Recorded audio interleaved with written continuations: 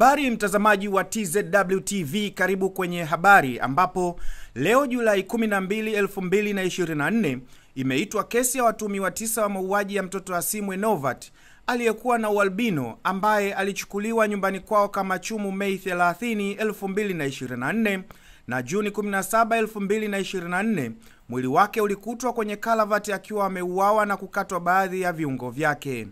Watuhumiwa hao tisa wamefikishwa tena katika mahakama ya hakimu mkazi Bukoba kwa ajili ya kutajwa tena shtaka lao, huku baadhi ya watuhumiwa wakitokwa na machozi mahakamani.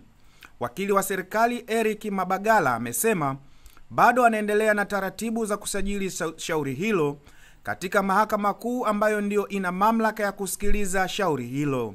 Watuhumiwa hao wanakabiliwa na shtaka la mauaji ya kukusudia na uchunguzi wa shauri hilo namba 17740 la mwaka 2024 tayari umekamilika.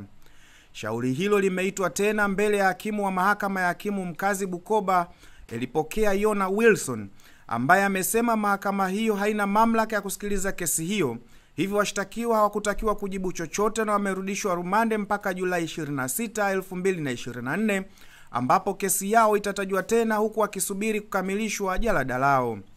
Watuhumiwa hao tisa ni Elpidius Alfred Regoshora mwenye umri wa miaka 49 ambaye ni padri, Novat Venant mwenye umri wa miaka 24 ambaye ni baba wa Wasimwe, Nurdin Ahmada, Ramazan Celestin, Legashira Alphonse, Dastan Buchard, Fwasiu Athman, Gosbet Arikadi na Desderi Evejeristi.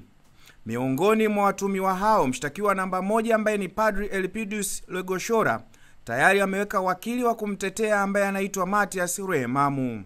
Hii ni tzwtv na mimi ni Eric Everest. Yeah.